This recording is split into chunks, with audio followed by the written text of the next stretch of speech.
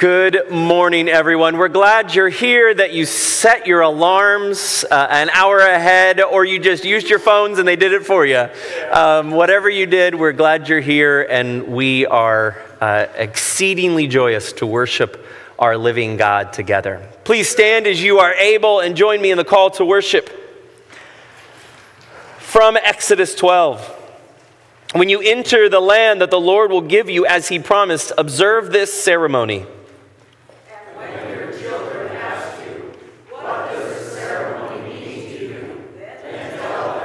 It is the Passover sacrifice to the Lord, who passed over the houses of the Israelites in Egypt and spared our homes when he struck down the Egyptians. Let us bow our hearts low and worship our God.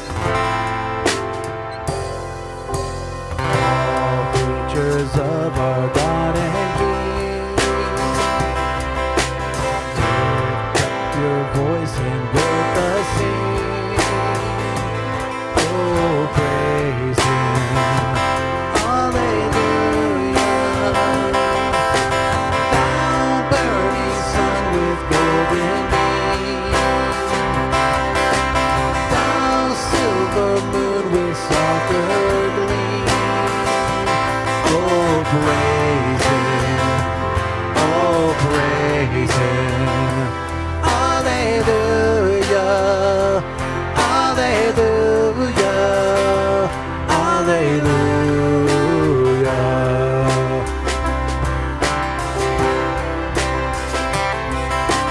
Thou rushing wind that art so strong, ye clouds that sail in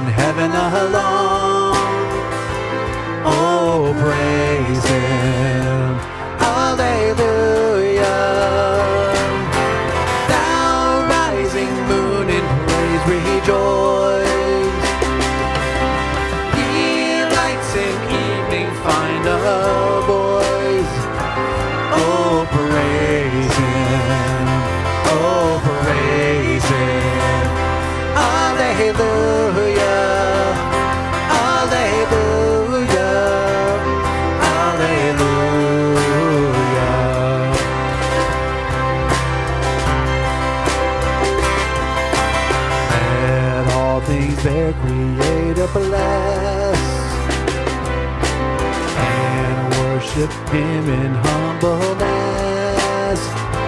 Oh, praise him. Hallelujah. Praise, praise the Father, praise the Son.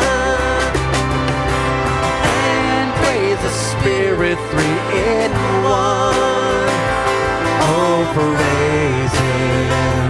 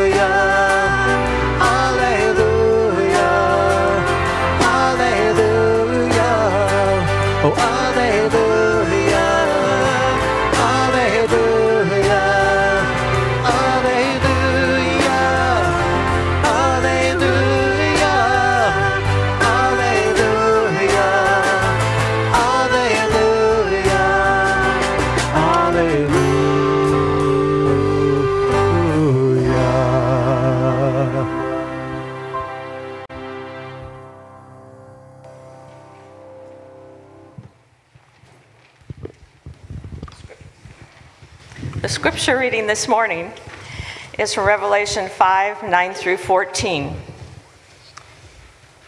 And they sang a new song, saying, You are worthy, to take, the scroll and to open its seals, because, you were slain. And, with, your blood you purchased for God persons from every tribe and language and people and nation. You have made them to be a kingdom and priests to serve our God, and they will reign on the earth. Then I looked and heard the voice of many angels, numbering thousands upon thousands, and 10,000 times 10,000. They encircled the throne and the living creatures and the elders. In a loud voice, they were saying, Worthy is the Lamb who was slain to receive power and wealth and wisdom and strength and honor and glory and praise. Then I heard every creature in heaven and on earth and under the earth and on the sea and all that is in them saying, To him who sits on the throne and to the Lamb be praise and honor and glory and power forever and ever. The four living creatures said, Amen. And the elders fell down and worshiped.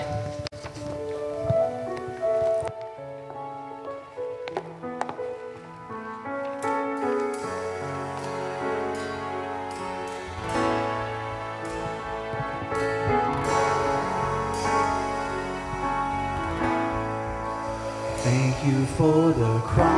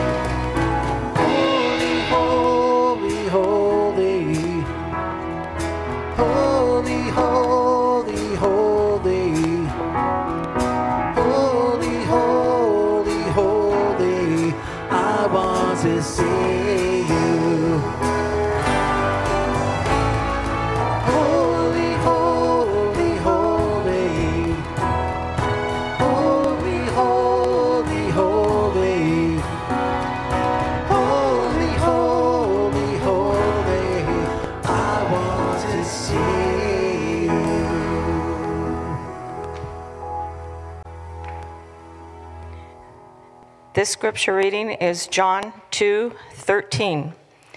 When it was almost time for the Jewish Passover, Jesus went up to Jerusalem.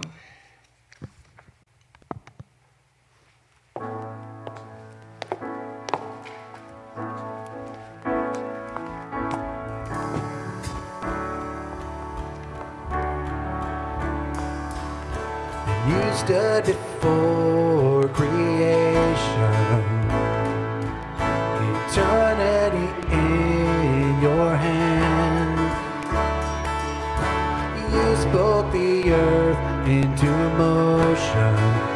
soul now to stand. You stood before my failure and carried the cross for my shame. My sin weighed upon your shoulders, my soul now to stand. Can I say? What can I do? offer this oh God, completely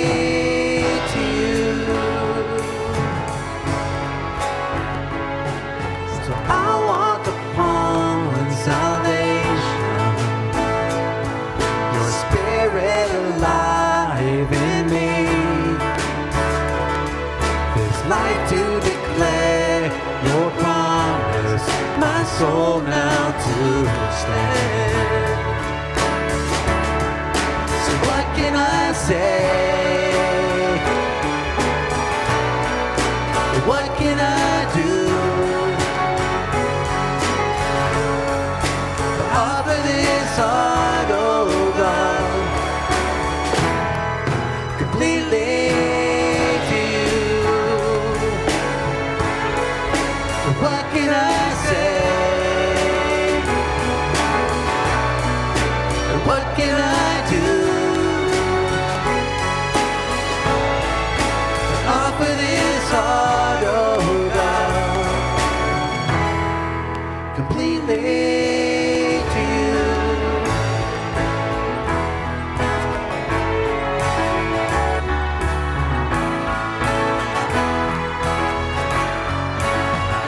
So I'll stand with arms high and heart abandoned in awe of the one who gave it all. So I'll stand, my soul, Lord, to you surrender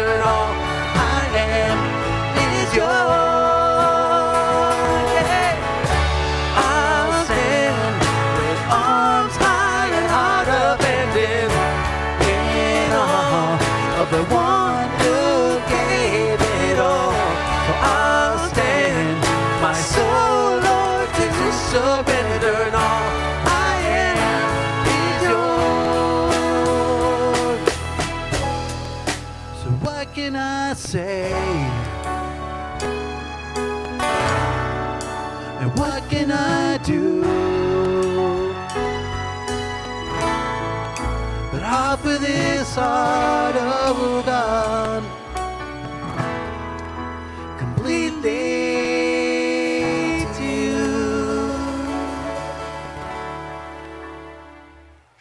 This morning, um, we like to bring your attention to the candles over here on this side of the sanctuary. Uh, if you have a prayer that you'd like to offer, you can either write it on the prayer offering and put it on the cross, or you can light a candle in prayer for somebody or something.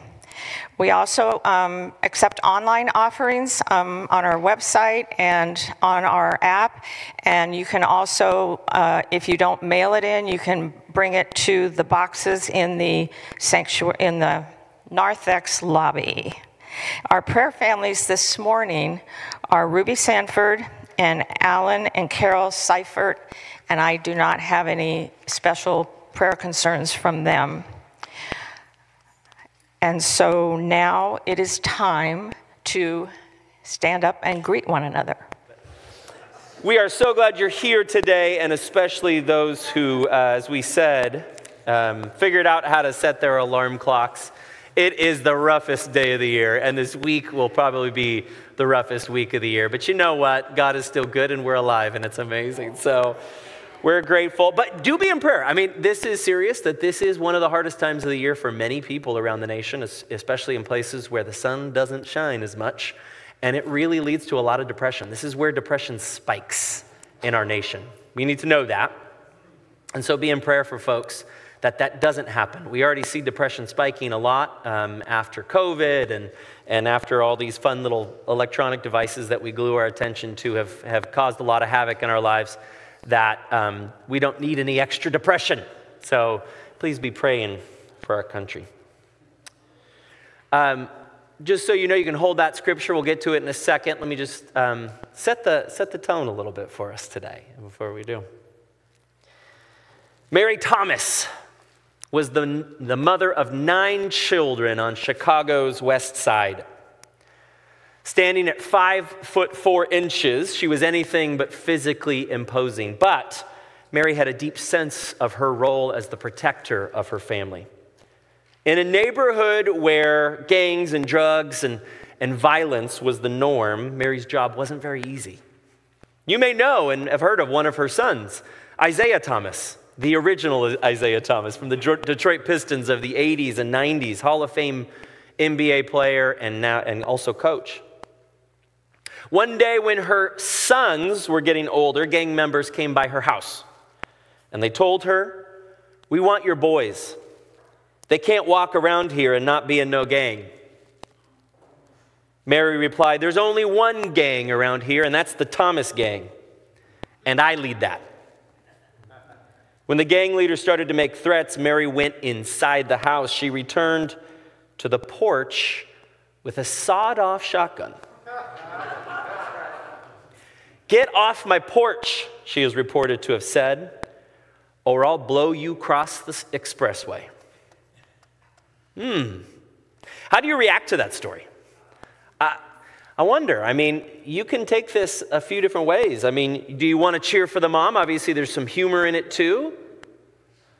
You might be deeply, you might recoil at the threat of violence or the fact that a mother of nine children needs to resort to the threat of violence to protect her children. I mean, that's a, it's, a, it's kind of a, a, a take, a, a legitimate take. Our biblical passage today is set in a context that forces us to consider the same questions of God that we do of Mary in this story. To catch up in the story where we're at, God created a good world with good creations. God empowered some of those creations to rule in ways that reflected his loving and just rule. One of the creations were spiritual beings, spiritual forces, powers. You can see them throughout the Bible, and anytime we read them, our modern ears don't really know what to do with them. We sometimes get uncomfortable, but there they are. They are all throughout the Bible. The Bible uses one of the Hebrew words for God to describe them, but it's a different word than used for the creator God. So, in a sense, it's a lowercase g God to describe these powers. There they are. The story goes on to say that these powers rebel against God, whether it's because they were given authority and it went to their head, we don't know, but at least that's how it sometimes happens with us humans. And that's where the story actually takes a turn. You see, those spiritual forces, those created beings that have authority to rule, excuse me, the, the, uh, uh, the created beings on earth that have authority to rule are humans. So the powers in the heavens are these powers, the ones on earth are us. And the spiritual beings demand allegiance from the humans. And they get that by wooing them and deceiving them so that the humans stop giving their allegiance to the Creator God and start giving it to the lowercase g gods. This is a mess for obvious reasons, for so many reasons. And so the Creator God, the Almighty God, decides to act. Decides may not be the right word. That's a human way of saying it. God acts. And what does God do? God picks one family out of the many families of earth, the many created human beings, the family of Abraham, later called the Hebrews. But this man, Joseph, is exalted to the highest position in Egypt other than Pharaoh himself, the king of Egypt. He's given this place. The first book of the Bible ends with this happy ending. Ah, oh, that's great. The second book starts where it left off. But this time, many years have passed. A new Pharaoh came into power, and this new Pharaoh did not remember Joseph, did not remember all the good things that Joseph did for, the, for Egypt and the Egyptian people. The Bible tells us that he doesn't remember them. Instead, he's afraid of them. And so he enslaves them and oppresses them. Fear. One of the Hebrew people, Moses, tries to bring justice for the people through violence, but that ends poorly. And he, he goes out as a refugee into the wilderness where God meets him and sends him back and says, I want you to go back to Pharaoh and say, What? Let my people go, for those of you at home who did not hear what these fine people said. So he goes back. He tells Pharaoh. Pharaoh refuses. The story tells us that Pharaoh hardened his heart and refused to let the people go. As the story goes on, there's a subtle shift where God hardens Pharaoh's heart because Pharaoh's heart was so hard to begin with. Last week, we explored the connection between Pharaoh and the lowercase g gods, those powers, those things that, that deceive us and claim and corrupt our lives. We explored how these gods, if you want to call them that, they could be called powers, authorities, is how the Bible often talks about them, how they're still at work today to distort our thinking and demand our allegiance. Pharaoh's allegiance to the gods makes him crazy in the story. One Pharaoh is killing babies because he's so crazy. That's crazy. So, what does God do about it? God hosts a showdown. We talked about this last week. A showdown with the gods of Egypt, not with Pharaoh, but with the gods of Egypt. God unleashes 10 plagues to show all people that the gods of Egypt don't have any power compared to the Creator God.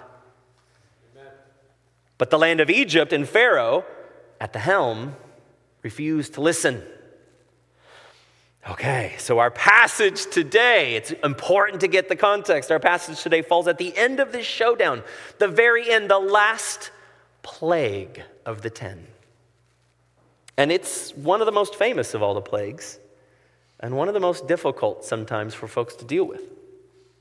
It's the death of the firstborn son and firstborn animals during what we call the Passover. From Exodus 12, verses 12 through 13, we read On that same night, I will pass through Egypt and strike down every firstborn of both people and animals. And I will bring judgment on all the gods of Egypt. I am the Lord. The blood will be a sign for you on the houses where you are, and when I see the blood, I will pass over you. No destructive plague will touch you when I strike Egypt. Let's pray. God, we thank you for this word, a word that maybe we've known for many, many years, maybe a word we've only heard today. God, we pray that your spirit would speak to us, into our hearts, and into our minds, where we are today in this time and in this place, to enrich our hearts with your loving truth. Your name we pray. Amen. Let me ask you, after hearing that story, that not the, not the, the long prologue, but that what I just read from Scripture, after hearing that bit, why did God strike down every firstborn? Why did God strike down? I don't know if anyone wants to yell something out. You can if you want. Yeah. Well, it's an interesting thought. I wonder if, as you're answering that question in your mind, you're thinking about all of the causes, all of the story I just gave you, right? Of the slavery and the oppression, of the injustice. And sometimes it can be hard to take the, the death of first born children. Well, let's think about it one more time and look at it actually. Go back to the, the second slide, that second verse. I, mean, I think it's actually the first verse. Let's see. Go back. Go back. Go back. Backwards. There we go. Uh, okay. Okay. It says, Why? I will bring judgment on all the gods of Egypt. And we think, but wait, you're killing the firstborn child. I can absolutely empathize with people when they read this. Thank you very much, Katie when they read stories like this one in the Bible. You know, stories of God and violence, death. These are hard to hear. Some people try to ignore them like they are not there because they don't seem too loving. Some lean into the violence and say, if you don't do what God tells you to do, God will deal with you the same way with violence. Finally, some give up on God altogether. Folks, who have seen what violence looks like from religious folk. But I don't think, if you're reading this and wanting to be faithful to how it's written, I don't think any of those three work. It doesn't work to say that the Old Testament doesn't apply to us anymore. It doesn't work to say God is violent. It doesn't work to say, well, obviously you're here, so you know this, that I don't need God anymore. Why? Because Jesus. This is a story describing the God of the Hebrew people, the God of Jesus, the God who is love. It's a story that Jesus himself uses as the foundational story, one of the prime foundational, but especially the foundational story for his life's ministry goal, the death of Jesus on the cross. This is what he said when he said the scriptures are fulfilled. The law, the prophets, the writings, all of this points to this moment. And the Passover becomes really the story that's foundational to that for him. How can I say that? It's a big claim to make. Do I know Jesus? Am I in his brain? Mm-mm. Today is the fourth Sunday of a season we call Lent. It's a time of preparation to remember Jesus' death, of repentance, of reshaping and, and be, regrounding in the truth of the gospel as we prepare for Jesus' death and resurrection. It's this death is an event, the event, not an event, the event, that reshapes reality itself. How we are to be lived, what our identity is and it gives definitive shape to the Christian faith. So, what does any of this have to do with Passover? and the powers. Well, as Barbara read, you might be wondering, why did Barbara read one verse today? it was kind of odd. You got her, you had her walk all the way up here, stand behind this lectern, and read one verse, and then walk back and sit down. The verse she read, did, did, you, did you hear? The Passover was coming. And so Jesus went into Jerusalem. Jesus purposes his journey to the cross as a remembering and retelling of the story of Passover. This is vitally important. And this leads, like Moses, like God in Egypt, it leads to a showdown with the powers. But now the powers don't just infect Egypt and Pharaoh, they're infecting even the Hebrew people as well. The leaders, the Pharisees, the Sadducees, the scribes, the temple priests, all of them are infected by these powers. And so God goes back, goes into Jerusalem for a showdown through Jesus. It was immediately after he celebrated the Passover meal with his disciples, before the food was even digested in his stomach that he was arrested and crucified with the Passover meal still inside of him. Jesus himself told his followers in John 12, Now is the time for judgment on this world. Now the prince of this world will be driven out. Remember what God said? I will bring judgment on all the gods of Egypt. Jesus said, Now is the time for judgment on this world. Now the prince of this world will be driven out. Jesus defines his whole act as a model from the Passover, pulls from the Passover and what the Passover is all about as a definer for who he is and what he does. On the cross where Jesus died, he conducts a second Passover event the blood of the Lamb spilled in order for those who are dead, the walking dead, to have life. Jesus pulls the full force of evil onto himself, and on the cross is where he judges those powers and finds them bankrupt. Jesus' own followers would make the connection between Jesus, the Passover, and the powers. You heard our readers who did a fantastic job today from Revelation 5. What did they say? Worthy is the Lamb who was slain. A lot of us connect this moment to the Day of Atonement where Israel's sins are forgiven. In that event where Israel's sins are forgiven, you don't sacrifice lambs. You sacrifice what?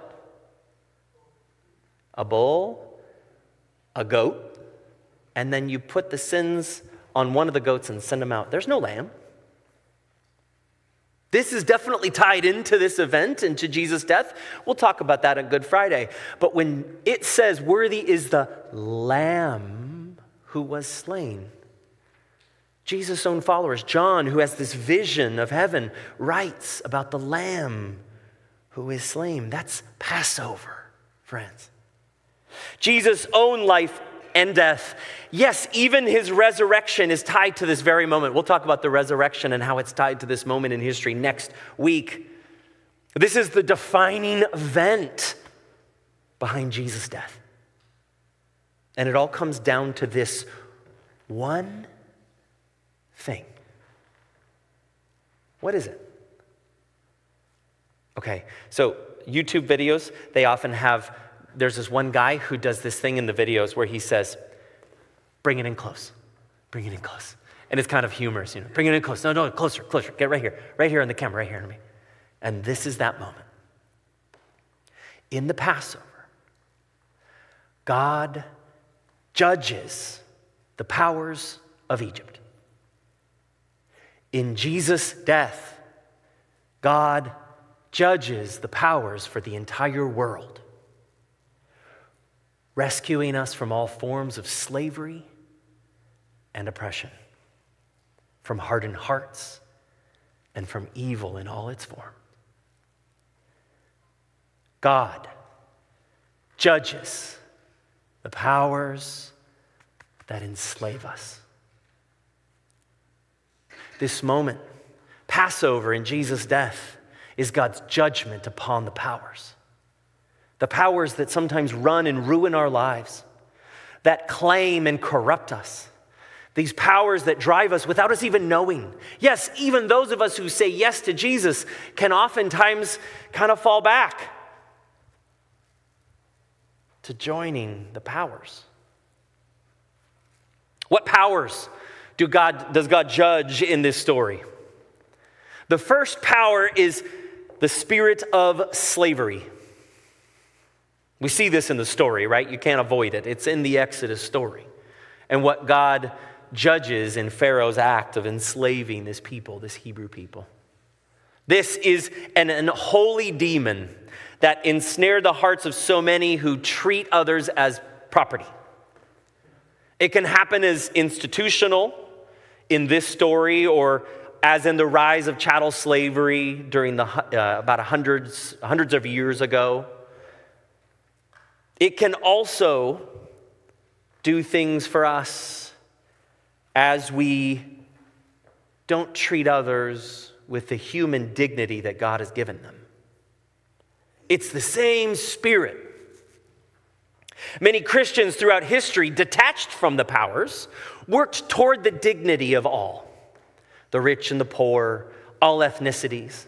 This was the early Christian community. That's what they did. People who were dying, who were left out to die, Christians, faithful Christians, at the risk of their own health, of getting a disease, would pick up these people and take care of them in their final days. Some of these Christians dying from the same plague that this person had, but they wouldn't let them die outside alone. They weren't tethered to the powers. That's not always been the case with us, but it is our core. This also happens in how we respond to one another today. Whenever the spirit of dehumanization or demonization arises, this is that same spirit. And it goes all ways, across all political aisles, and up and down, and all across, around, and everything. It happens when we think the worst of our political enemies, when in our minds we draw horns on those people. We're succumbing to the spirit and the power of slavery, of dehumanization, of Pharaoh's gods of Egypt. God judges this power and it is condemned in Jesus' death. The second power is the spirit of force. The idea that we can get what we want by making people do something that we want them to do is a folly as old as time. Right? Notice I even said that the powers don't tell people they have to do this, they woo them and deceive them. They know, the spiritual powers know that you can't force someone, it eventually goes south. But that same spirit dwelling in us makes us think we can. To force people to do the thing that we want them to do, it doesn't work. God is not a God of force. God is not a God of control. God is a God who asks for trust. When God calls the very first Hebrew, Abraham, he called Abraham and made a covenant with Abraham. He didn't command Abraham, believe in me or else. No. Trust. And that trust was reckoned to Abraham as righteousness. Abraham believed God, but wasn't berated by God into believing. That's the powers. That are the, those are the forces that are all around us and infect us. It infected the mind of Pharaoh, and it can often infect us today the spirit of force. The final power is the spirit of death.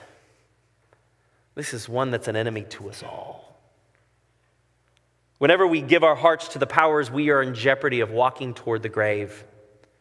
Egypt experienced that death in the Passover why? Because it had given itself over to the powers. It had become one with the powers. God's judgment had to come upon the powers of Egypt, but God gave a way through. It was a way through for not only Hebrew, but also Egyptian. We read later in chapter 12 that other people came with the Hebrew people, not just the Hebrews. Some Egyptians smeared the blood on the doorpost as well to worship this creator God and put allegiance back to where it was demanded. It was for anyone who smeared the blood. The, the thing I love is that it was even for the poor who didn't have a lamb to begin with. The Bible makes it very clear if there are poor people who don't have a lamb, find a way for them to get something. Because even they need to be able to smear the blood. It wasn't just for the wealthy, those who had lambs. Mm-mm. It was for anyone. Life, a way through death. Because death, the spirit of death, is the spirit of the gods of Egypt. We want so desperately for God to judge powers. But in stories like this, it hurts our minds to see humans being affected. But we know oftentimes, even we will give our hearts to powers where when God judges those powers, we can't say, God, judge the powers, but don't judge me, even though I benefited from the powers at the expense of others. You know, just give me a pass, but judge the powers, because those are bad, but not me. No. See, God does judge the powers, and He brings natural consequences on humans, but God provides a way through. He doesn't ignore. There is no injustice with God, there is justice. When we give our hearts to the powers, God still provides a way through. God doesn't just say, the end, you're done. You did something wrong, you're done. That's not how our God works.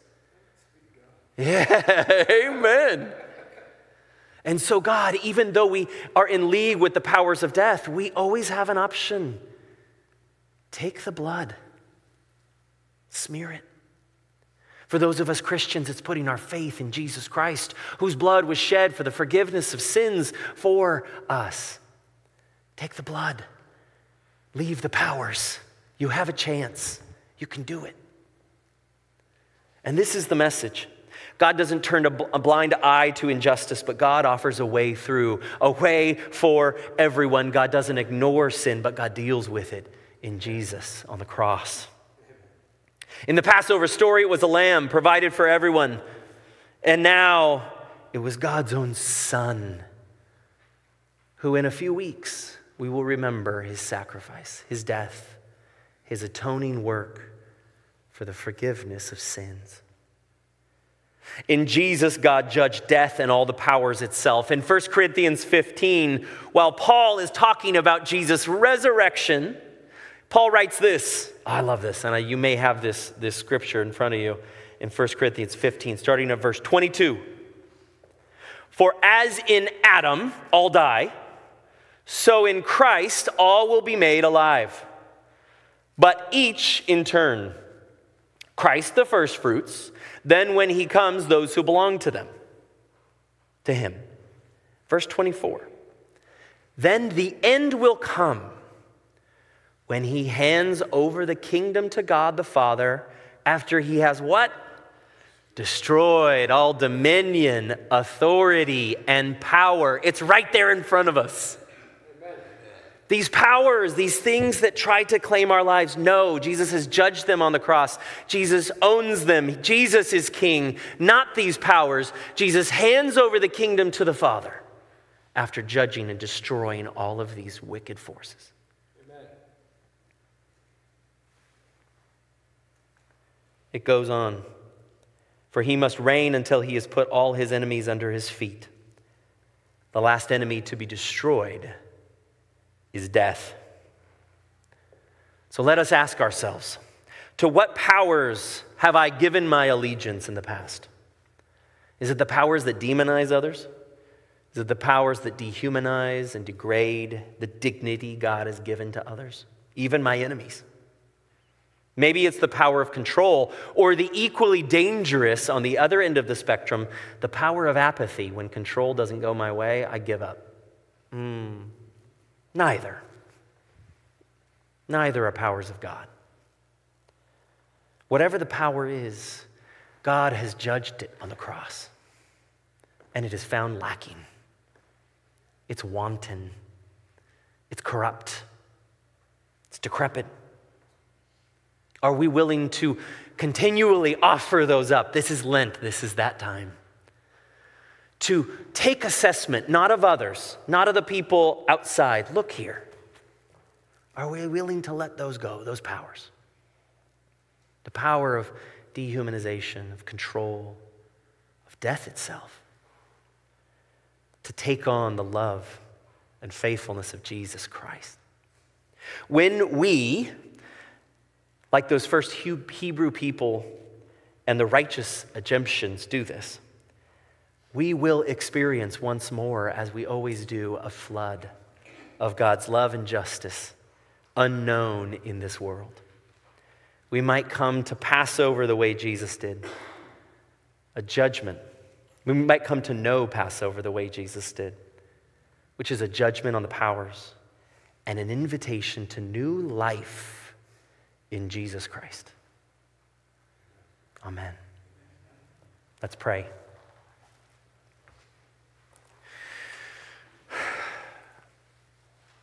God, in the midst of a world that lacks righteousness, justice, truth, faithfulness. We thank you for sending your Son to set the record straight, to reorient our lives, and to give us our salvation. In this grand operation of salvation, we pray that you would turn our hearts toward Jesus and not towards fleeting, shadowy figures that seem to be Jesus, but that don't hold a candle to the real thing. God, we pray that you continue to work in our hearts, knowing that you have saved us through faith, that that is not a question. The question is not whether or not we will be with you. The question is, what are we going to do until we get there? And what sort of kingdom are we participating in? God, continue to work in our hearts to relinquish control, to relinquish the, the spirit of slavery, to give up the powers of death that control us, even when we don't even know it. God, open our eyes and our ears and our hearts so that they are not like Pharaoh's, hardened against your word, against your truth. So, God, to that end, as always, we pray the prayer that Jesus taught us to pray, saying, Our Father, who art in heaven, hallowed be thy name. Thy kingdom come, thy will be done on earth as it is in heaven.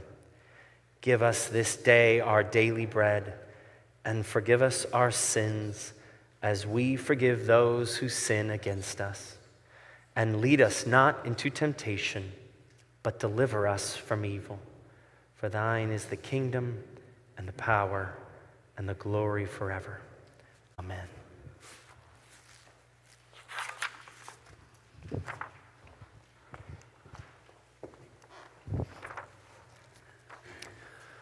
Please stand as we worship our God, the God who judges the powers together.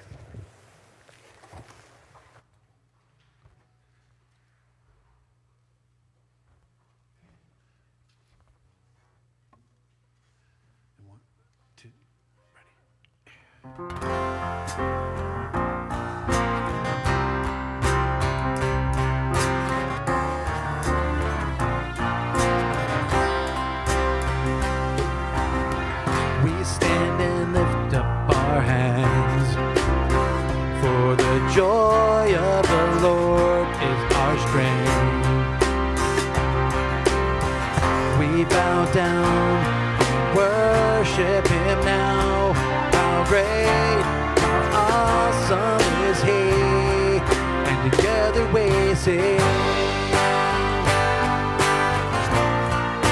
Holy is the Lord God Almighty.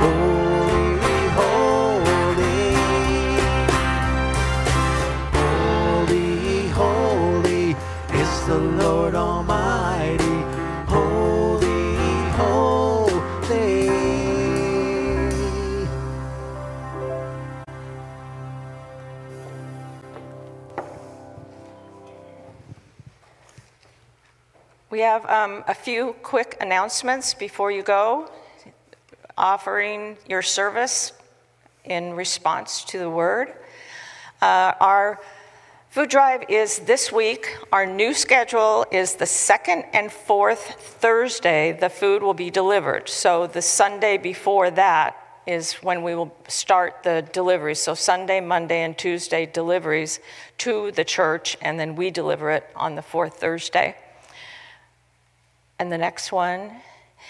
Okay, everybody is um, doing this. So if you have an online recurring giving through PushPay, we would like you to go in to the new app, which is Church Center, or go on the website and put your recurring giving in there.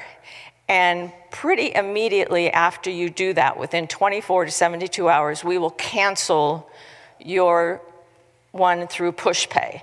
One was done this weekend, and I know we say 72 hours, but it was canceled uh, right away. And then this app is something you maybe want to download. I know, not maybe, yes, you do, because it will eventually have our directory in it. And that also, you'll have your calendar, your directory, your giving, uh, your groups that you're in, and when you meet and everything. It's, it's a perfect app. It's perfect. Next. Easter is March 31st. We are not going to be outside this year. We're going to be inside. at 10 o'clock. And we'll have all kinds of fun that day. And Holy Week on Monday, Thursday, we're having a Seder at 7 p.m. in Trinity Center. If you have the app, I think you can sign up for that. And um, on Good Friday, we'll have a worship service at 7 p.m. in the worship center. So it's time for you to send. Fantastic. Yes, this is that opportunity to serve when we take what God has spoken to us during this service and are sent out. And you are sent out to go.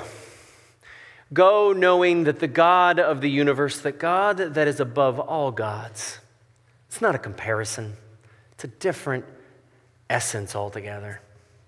The God that judges the powers, the God that gives us new life, that God goes with you. As we faithfully follow Jesus, who lives in you, as we walk in the wisdom of the Spirit working through you. Until that day when all is made well in a kingdom that shall have no end. Amen. Go in peace. Amen.